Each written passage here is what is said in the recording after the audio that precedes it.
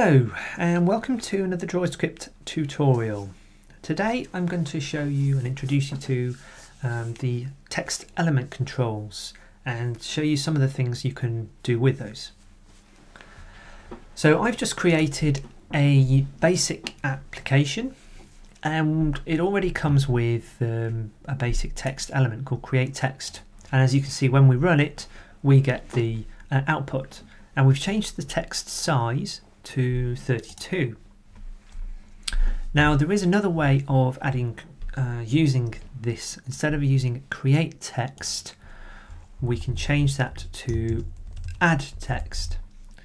And you just need to then specify your layout um, object your layout control.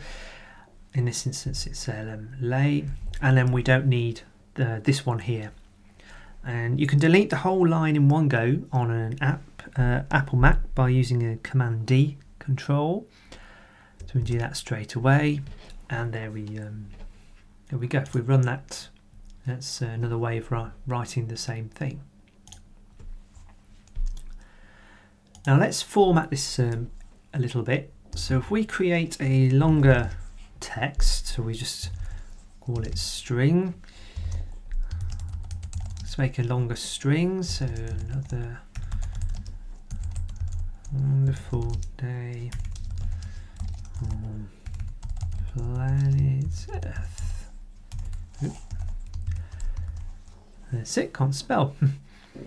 right, so if we now put in the string, now if we see this, press run, there you are. So the string now, as you see, is way off the screen. And there are a couple of things or a couple of ways to change that. One of the ways is to specify a um, specifying a width and a height. We can use um, an option called auto scale and that will use the width as a, as a point of uh, reference to scale the size. And there we go. Uh, it all fits perfectly on there. Now that's great, but it doesn't conform to the sex, the text size that we've specified. We wanted it 32 and it's uh, shrunk it to fit on the line.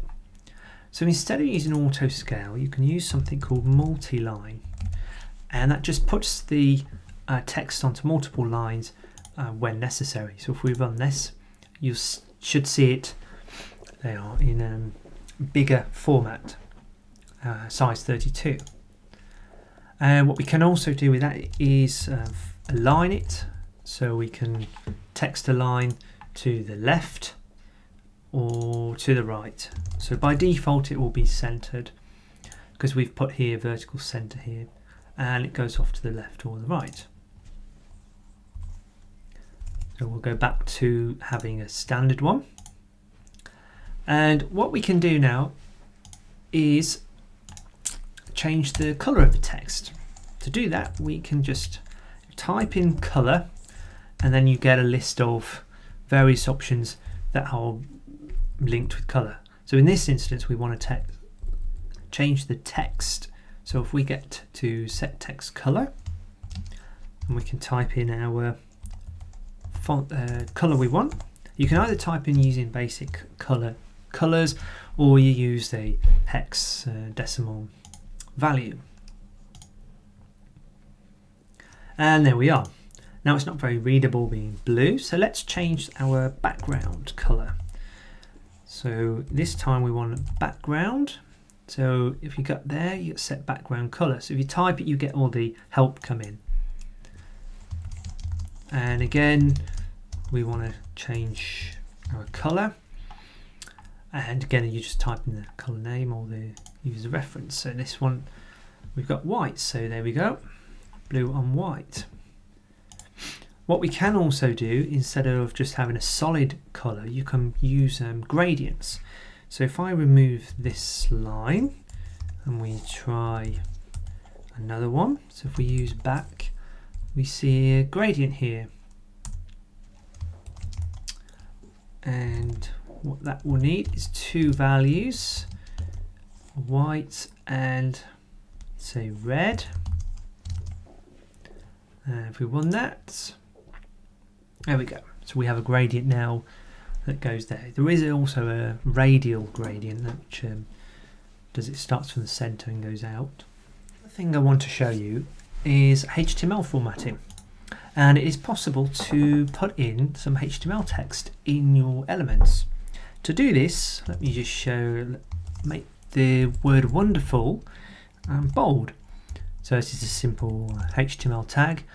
And all we need to do is add another option here called HTML. And if we run this, you can now see the word wonderful is in bold. Um, what I will suggest to you to do is go to your samples section of DroidScript and if you just type in here formatting or text text formatting you'll see it at the top and this sample here will show you all of the um, HTML tags that are supported.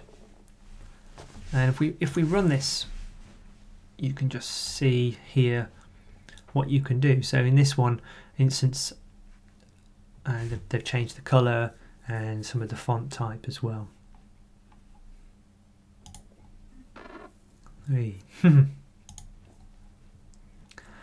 and another uh, sample to have a look at is one called Font Awesome. Font Awesome allows you to add um, icons to your text um, elements. So if we just type Font Awesome or icon fonts, there you go, straight away. And you can do it by using this. So you can copy paste this text into your application. So again, you can use um, add text instead of create text and add it to the layout. But as you can see, that, that's how to add um, icons to your text elements. And if we run this, you can see, there you go, you've got the cogs here, which is what we've just seen, and there's a heart and pause and so forth. And that is how to add icons to text. And that is pretty much a basic introduction to um, text elements into DroidScript. Uh, use the samples as much as you can and the docs. They'll give you a lot more um, ideas and how to um, progress forward and extend the functionality of it.